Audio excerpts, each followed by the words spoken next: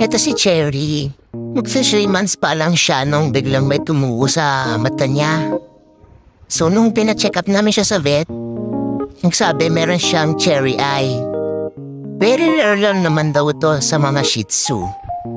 So, pag four months na daw siya, pwede na siyang operahan. Kaya sobrang nakakaawa siya kasi habang lumalaki siya, lumalaki din yung butlig sa eyelid niya. Kaya hinintayin namin yung 4 months. So, eto na siya after the operation. O diba, lumabas ang kakitan niya. Okay na yung mata niya. Kaya din namin siya pinangalan ng Cherry dahil sa cherry eyes niya. Hey Cherry! Ang kit-kit mo naman. Papakit ka pa oh. Cherry girl.